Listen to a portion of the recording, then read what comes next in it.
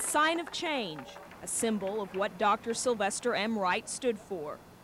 He helped pave the way to equality, fairness, and opportunity for all.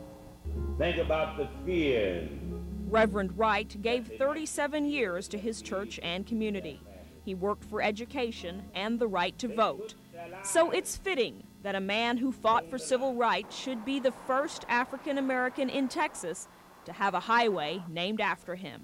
I think he's up in heaven right now. Rejoicing. Looking over us right now and just Rejoicing, rejoicing, saying, Praise the Lord. And he's singing, Oh, how I love Jesus. I'm just glad I knew him. Reverend Joe Patterson grew up listening to Reverend Wright preach. Now his church sits on the new SM Wright Freeway. He sees the renaming as a symbol of community pride.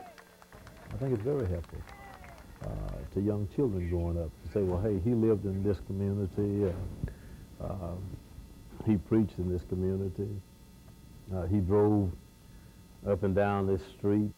Reverend Patterson says he hopes the new highway paves the road to a better relationship between North and South Dallas. Shelley Lockhart, Texas News 5.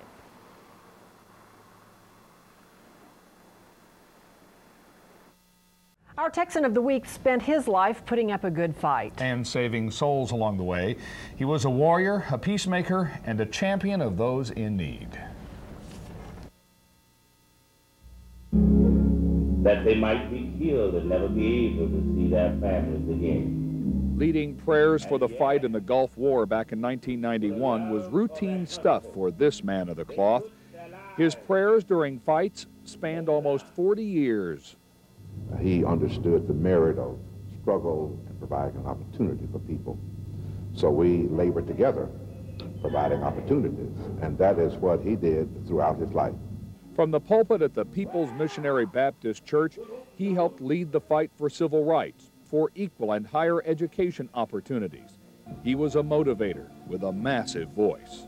When it came to preaching the gospel, he made a noise. Came to fighting injustice, he made a noise. And he made a noise for those in the political arena that rallied to the cause.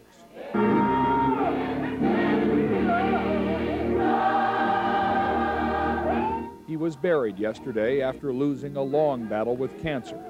But for the many battles he won, for the many people he saved, and the many lives he touched, we choose the Reverend S.M. Wright as our Texan of the Week.